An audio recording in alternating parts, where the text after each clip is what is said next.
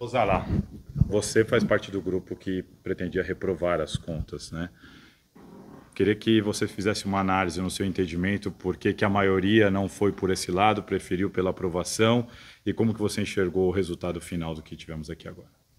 Bom, é, em primeiro lugar, Salazar, acho que tem uma, um esclarecimento que eu preciso fazer, que é, de fato, meu grupo político ele se posicionou pela reprovação das contas. Né? É, eu, em momento nenhum, me manifestei no grupo, não manifestei uh, nem a, a, a uma, uma, opinião contrária nem a favor.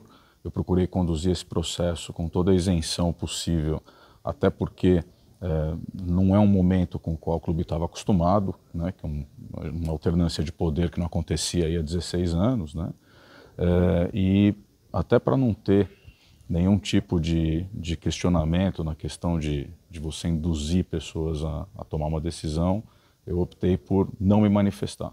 Né? Não me manifestei antes da reunião, nem para o meu grupo, e acompanhei o resultado com muita serenidade. É, não é segredo para ninguém que, que esse resultado, essa aprovação, tecnicamente, ela, eu concordo que é, você não tinha ali um motivo é, técnico para reprovar as contas.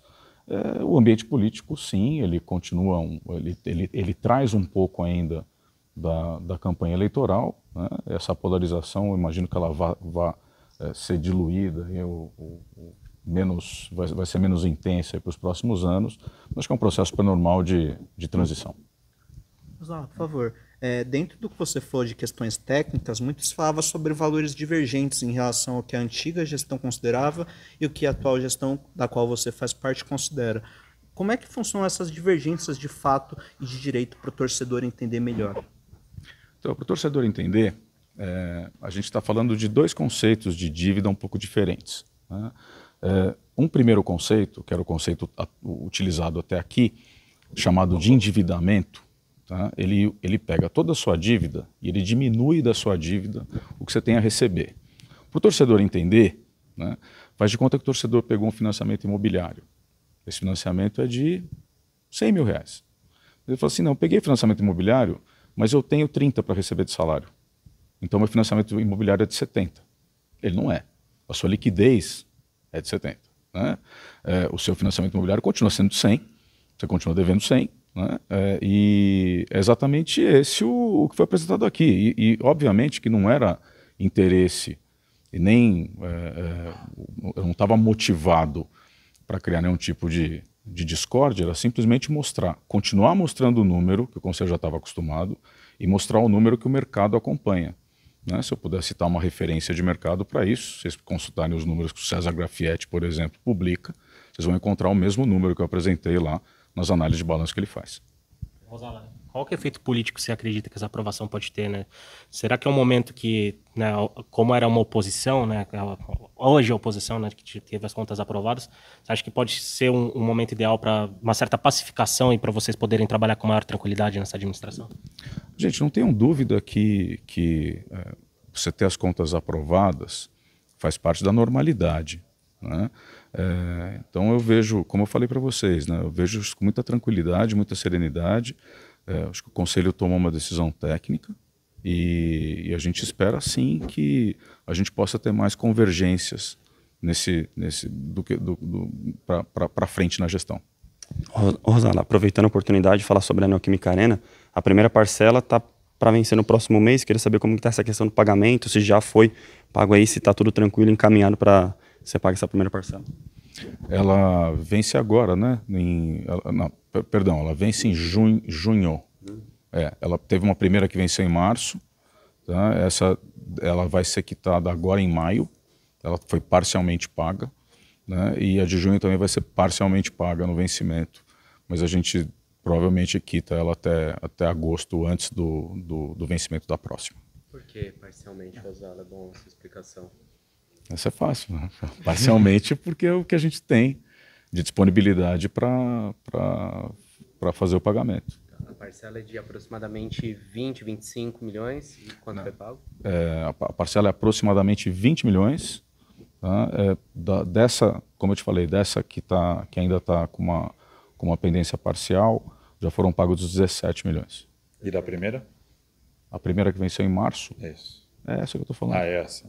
É. Aqui, a próxima que você disse A próxima também, que vem não, em junho. também não vai ser paga na integridade. Aí eu não, não sei te antecipar quanto, quanto a gente vai ter condição de honrar da parcela.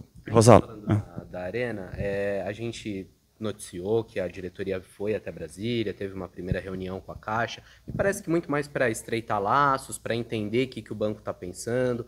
É, depois disso, já amadureceu essa conversa com a Caixa no sentido de, de uma renegociação do financiamento? Em que pé que está essa situação, Rosana?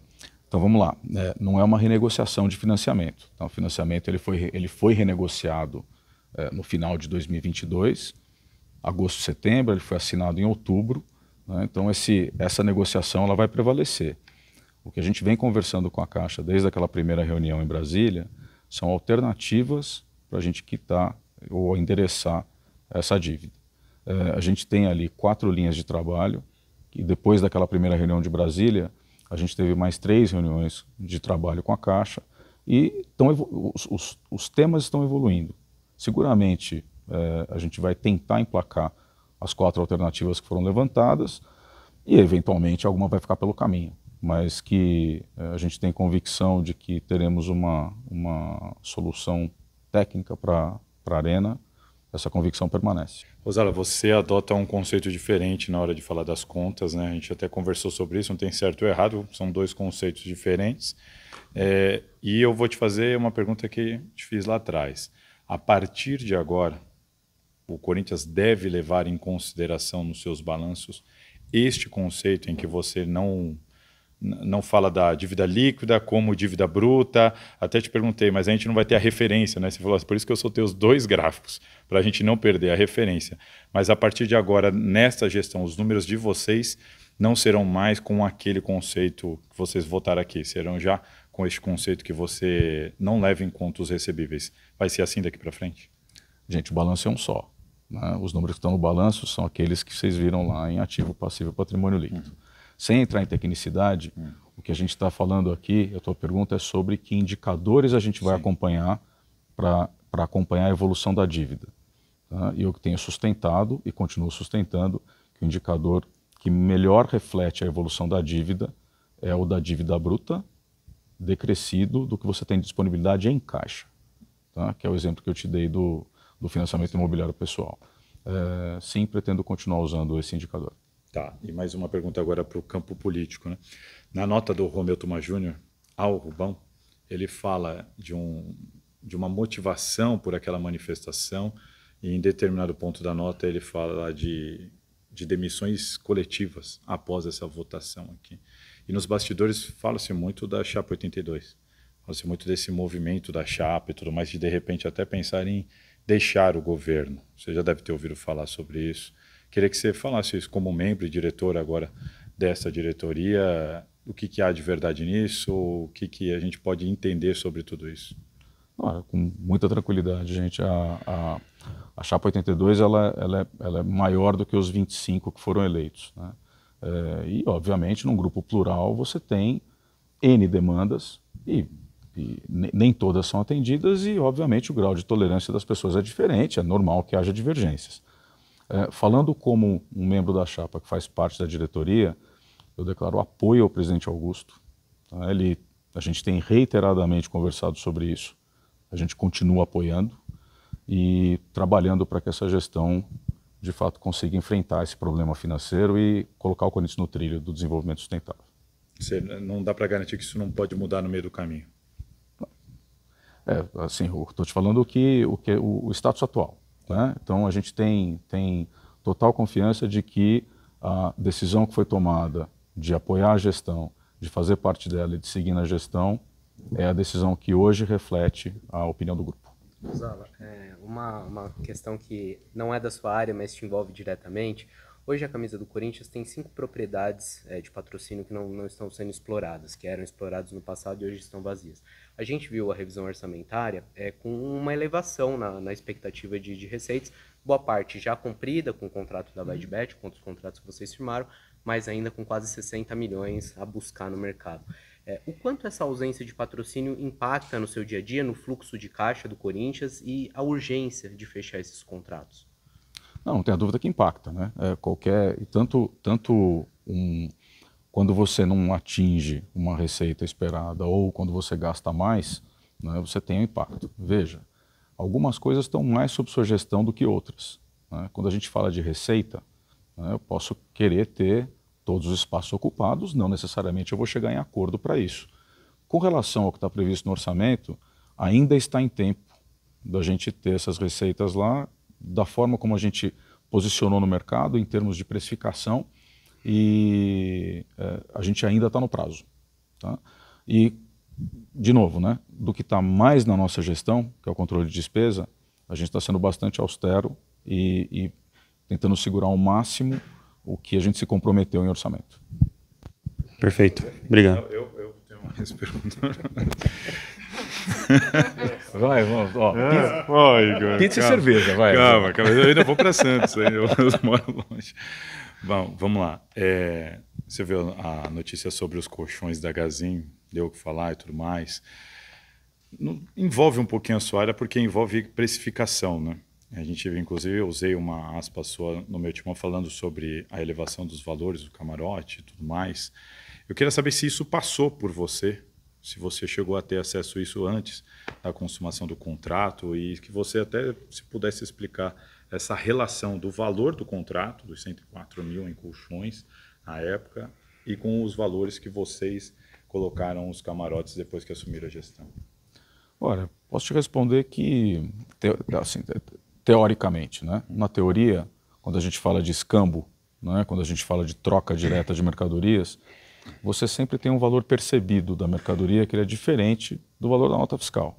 né? É, sem entrar no mérito se a decisão foi certa ou errada, de fato, quando, quando isso não apresenta proposta financeira, não tem fluxo financeiro, né? não é normal que isso passe pelo financeiro. né? A, a, a questão do é, quando você quando você fala de precificação, o financeiro ele pode até ajudar, né, é, olhando referências de mercado do que do que aquilo vale. Mas você comparar, por exemplo, um camarote de uma arena com o de outra, com um time com o de outro, quer dizer, é- é- tem muita subjetividade no meio. Então a, resposta é, é, cara, normal, vai acontecer. Se foi certo ou errado, não sei se é esse o, se é esse o mérito, né? mas a fato é que isso não, não passa pelo financeiro. O- Você citou o Grafietti, ele na live do meu timão, ele expõe os números que você expõe, ele enxerga da mesma maneira, usa o mesmo conceito para analisar os números, e ele bate muito na tecla de que não, Corinthians não deveria ter gastado 130 milhões praticamente nos dois primeiros meses da gestão, porque não era o momento e nem, nem tinha aporte para isso. É, além disso, a gente tem agora essa informação que faltou, faltou receita para quitar a parcela da Caixa. Era hora, o Corinthians errou ao gastar 100, ou investir, não gastar, né, mas comprometer 130 milhões naquele momento? Vamos lá. Essa, essa resposta ela tem alguns aspectos. Né? Ela pode, você pode olhar friamente os nomes que foram, que foram contratados e que eh, implicaram nesse comprometimento de, de, de valores. Você pode olhar também a conjuntura na qual a gente, essa gestão começa o trabalho. Né? Essa gestão começa o trabalho sem caixa, sem crédito e sem elenco. né? É, se ela tinha a opção de não remontar o elenco, dificilmente dá para afirmar isso. né? Ela tinha que remontar o elenco. É, quando a gente fala de janelas de oportunidade, e muito se usa de referência o, o- o- a- toda a reforma eh, financeira que foi feita no Flamengo, né, eh, se a gente voltar no tempo, a gente está falando lá de um período de sete anos, no qual a performance esportiva ela não tinha a relevância que ela tem hoje na remuneração dos clubes. É, então a gente está falando de uma performance esportiva que representa alguma coisa na casa de 110 milhões aproximadamente, de 100 a 120, vai? É, do que a gente do que a gente tem pela frente. É, não dá para abrir mão dessa receita. Então, ao- ao- de fato, era, era, eu não consigo imaginar que a gente ia passar esse momento sem fazer investimento. tá? É, se foi muito, se foi pouco, se as decisões foram É, é certas ou ponto. não, isso, isso só o futuro vai dizer, acompanhando os resultados em campo. O contrato de TV tá, tá em vias de ser fechado, Rosal? O contrato de TV ele continua em negociação né, e a gente espera ter um, um- um fechamento aí nas próximas semanas. Já tem mais um lado, já, mais ou menos, ó, que o Corinthians deve seguir, Rosal?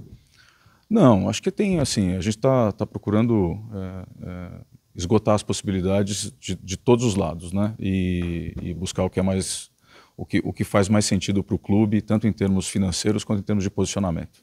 Só para encerrar, é, a Semana da Transparência, né? Vocês iriam demonstrar tudo que estava sendo feito e tudo mais. A gente deve contar com isso nas próximas semanas, seria para o fim de abril. Já estamos no fim de abril, então... Só, só reforçando, o presidente datou, né? Ele falou dia 9, uhum. é isso? Sim, a princípio está agendada para o dia 9. Tá? A gente espera é, mostrar os resultados da diligência que foi feita pela, pela Ernst Young, na consultoria que eles nos prestaram, né? e mostrar os próximos passos depois do que a gente encontrou. ainda dentro dessas questões financeiras que você está falando, uma das questões que preocupa o torcedor corintiano é a questão de Matias Rojas. E um jornalista paraguaio divulgou que teria dado uma entrevista a uma rádio dizendo que estava tudo praticamente acertado entre ele e Corinthians. Procede isso lado, pelo lado do clube? Esse processo está na FIFA, né? É, não tem nem como comentar. É um tá, tá na, na, nas, na, nas câmeras de, de contestação, de argumentação e vamos esperar o resultado do julgamento. Então não teve nenhum acordo entre vocês. Deu a impressão para nós que de repente pudesse ter acontecido algum acordo entre vocês, Corinthians e Rojas. Não houve isso. Não, pode acontecer, sempre pode, né? Não, não, mas não houve. Se, por enquanto, por enquanto não. Perfeito. Perfeito. Liberado para thank you